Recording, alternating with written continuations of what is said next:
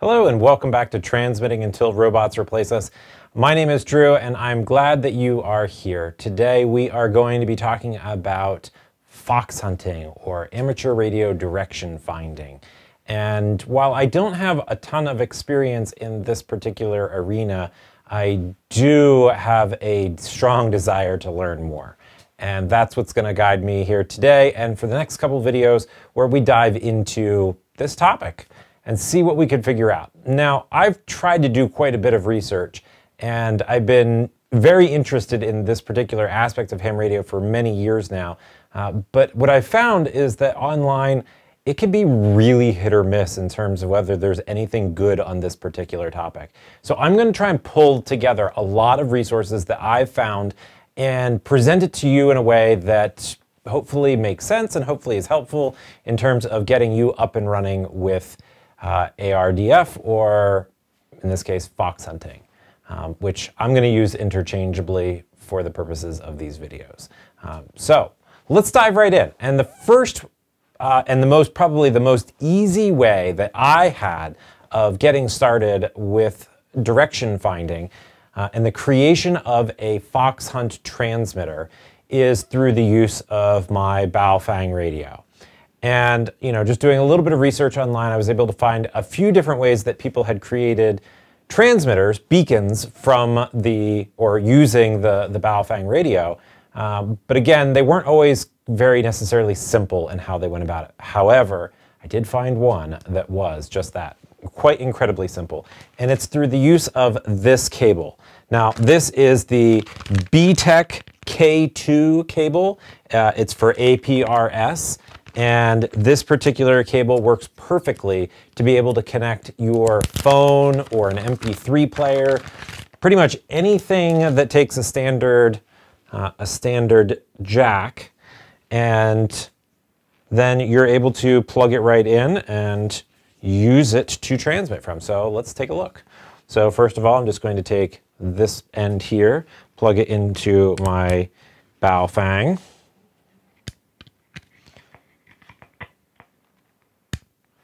And now I'm taking the 3.5 millimeter side and I'm going to plug it into my phone.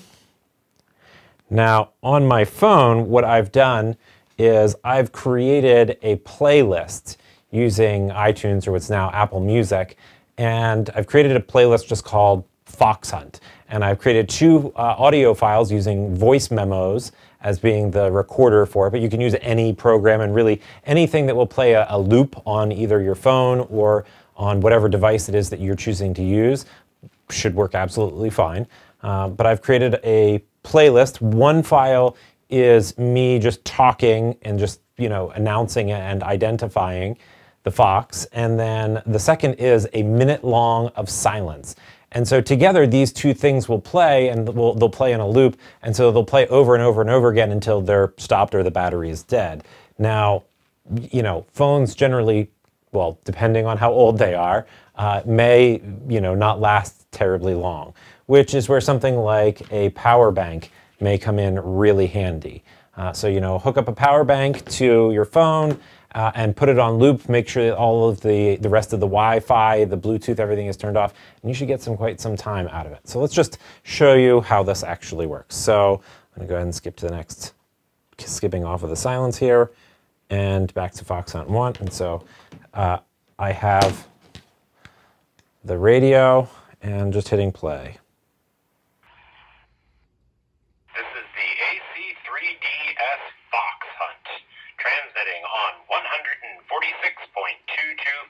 megahertz.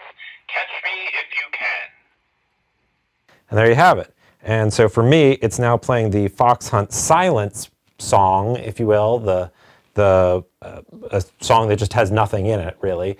And so even though the phone is playing it, the radio is not because in order for the radio to actually transmit, it has to detect a um, you know an input over a certain threshold. And so what I have, and again, let me go through that. Um, in order to transmit, uh, and in this particular way, you're going to need to use the Vox setting. And the Vox setting on your radio can be found by going to Menu, Then we're going to go to menu number, I think it's four.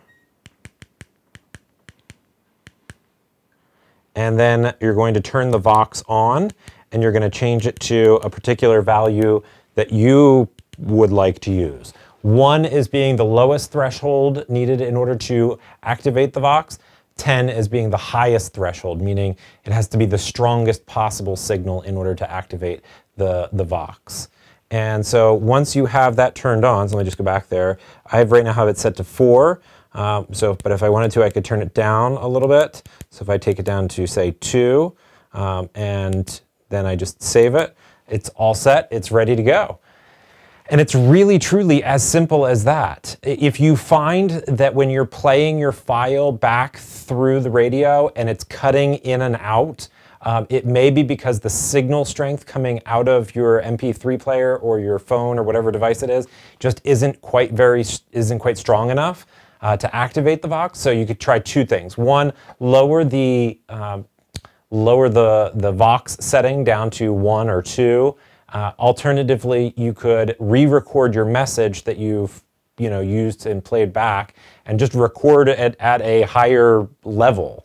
Um, so just speak more loudly into the microphone, and it, even if it becomes modulated, it'll still be understandable, and you'll still be able to um, you know use it. So there you have it. I mean, really, it's not much more difficult than that.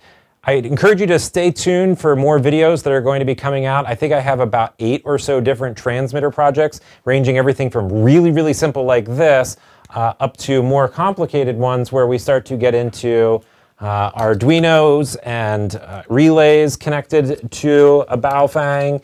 uh, all the way up to completely self-contained items, uh, you know, getting into some more advanced ones with, you know, switches, um, and then after we're done working through all kinds of different transmitters, we're going to go into using the offset attenuator and the, um, the step attenuators, and then finally end up with the uh, actual antennas. We're going to we're going to deal with at least two different types of antennas, a Yagi directional antenna, and we're going to deal with a loop antenna. And so definitely be sure to check out those videos as well. So I hope that this helped. Uh, get out there, give it a try. It's fairly easy to do. Uh, total cost you're looking at for the radio, um, you know, $25, $30-ish or so. Then you're talking about for the cable itself, and this is again the Baofeng uh, BTECH APRS K2 cable, um, and that's about $25. So we're about $55 for that. And then, you know, an old phone, maybe something with a cracked screen, um, you know, that maybe you have already lying around somewhere, maybe a, a really old iPod that you could use. Um, so whatever it takes, but 55 to maybe $75 or so if you have to buy a new MP3 player from Amazon. So overall, not too bad, and especially if you already have some of these devices lying around, pretty easy to use. Bonus, the APRS cable that you're getting can double up for actual APRS. So when you're done using this as a Fox Hunt transmitter, then you can also you know, use it for APRS. So that's a win. There you have it. Thanks for joining me. Talk to you soon. Until then.